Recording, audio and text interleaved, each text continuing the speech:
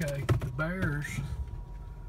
This is uh July 27th, right about 8:30, right before dark.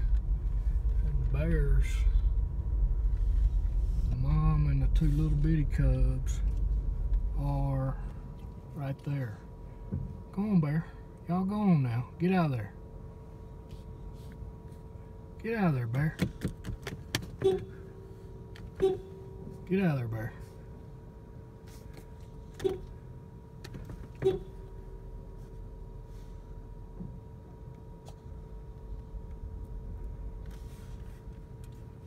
Wow. Look, man. You see him, Melvin? Melvin's here. You see the bears? She's a young mother, too. Now, look. I don't want to get between her and her cubs. I'm sorry, bear. I'm sorry. They're just hungry, man. The little ones will go up this tree.